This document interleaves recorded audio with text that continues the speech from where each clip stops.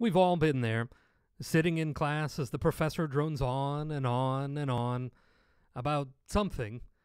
You're not really sure what.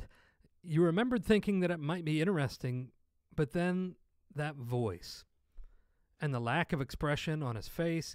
In 1930, the Republican controlled House of Representatives, in an effort to alleviate the effects of the, anyone? Anyone? The Great Depression, passed the, anyone? Anyone? A tariff bill, the Hawley Smoot Tariff Act, which anyone raised or lowered, raised tariffs in an effort to collect more revenue for the federal government. Did it work? Anyone? Poorly delivered lectures can be brutal. Speeches are no different.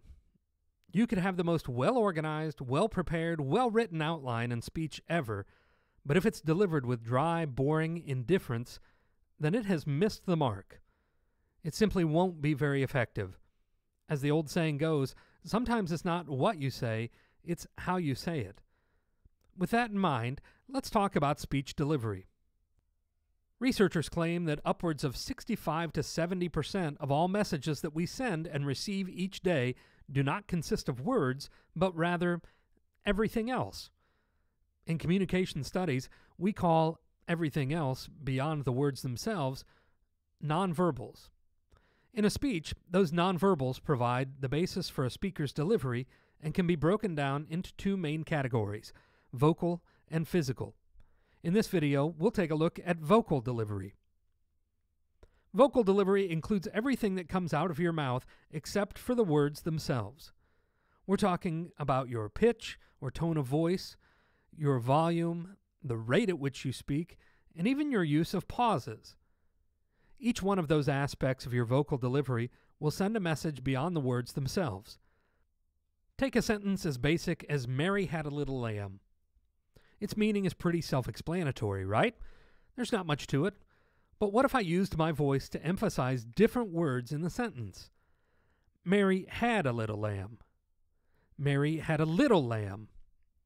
Mary had a little lamb. Notice the difference?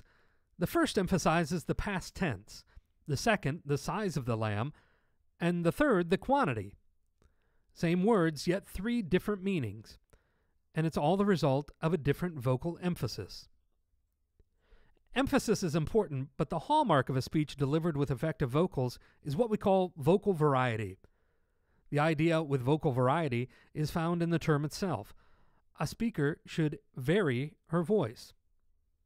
We generally think it's a good idea to speak up or speak loudly during a speech, but if you were to do that the whole speech, it would probably become annoying for the audience.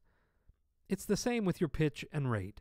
No one wants to be described as monotonous, and speaking too quickly or too slowly in your speech for the entire speech will decrease the overall effectiveness of your speech and frustrate your audience. The goal is to mix it up speed up your rate at times while slowing it down at others. By doing so, your speech will sound natural and conversational, which is an excellent goal on most speaking occasions. Thankfully, vocal variety isn't too difficult to achieve if you pick the right topics that you naturally care about. When we are invested emotionally in a topic, that enthusiasm typically comes through in our speech delivery. If it doesn't, we create an incongruency for our audience. In other words, it's not good when our emotion and enthusiasm do not match the message, when our nonverbals don't match our verbals.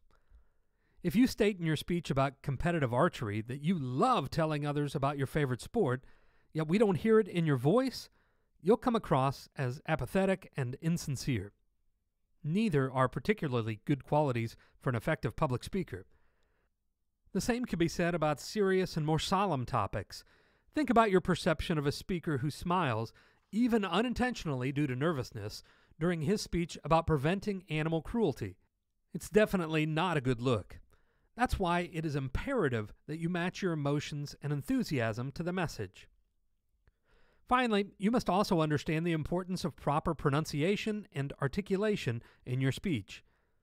According to the Merriam Webster Online Dictionary, proper pronunciation means to say correctly, while articulation deals with the clarity of sounds. Both are extremely important to the effectiveness of your speech.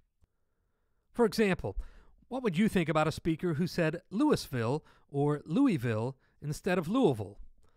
What about a speaker who says electoral college instead of electoral? Both are examples of pronunciation errors. What about a speaker who says probably instead of probably? Runnin' instead of running? What for instead of what for? These last few would be examples of poor articulation and a lack of clarity of sounds. Poor pronunciation will make the speaker seem ignorant or uneducated, while poor pronunciation often makes the speaker sound lazy. Both perceptions will ultimately hurt a speaker's credibility and her overall effectiveness as a speaker. Vocal delivery, your rate, pitch, volume, use of pause, emphasis, and more, is important, but so is your physical delivery too.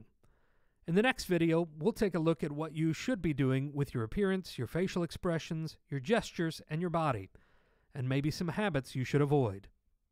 But for now, remember this vocal variety and a conversational quality are important to the effectiveness of your speech. So the next time you deliver a speech, let's try to avoid going all Ben Stein on the audience, okay?